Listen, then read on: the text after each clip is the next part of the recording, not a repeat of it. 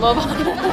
那我要我要提提神啊，提神没。有，因为那个什么，其实今天有发一张照片，是酷比抱着酷比在看演唱会，然后酷比戴着耳罩看着你的表情非常惊恐。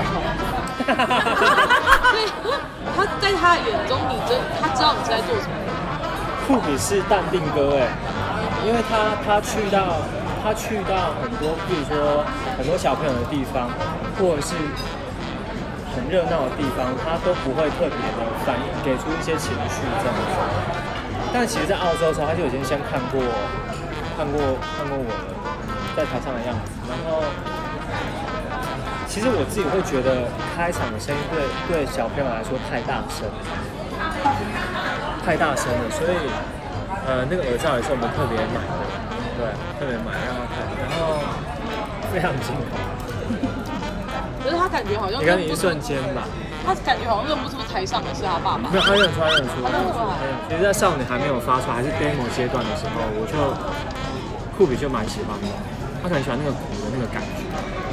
然后他，比如说他现在看那个 MV 的时候，他也会看着里面，就是说是爸爸这样子，爸爸。所以基本上我们家听那首歌听到你就要吐，为有发现，其实酷比长得跟 Kiki 比较像。非常像，太可爱了。